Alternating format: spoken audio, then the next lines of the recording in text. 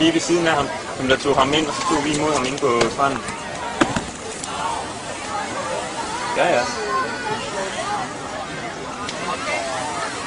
Ja.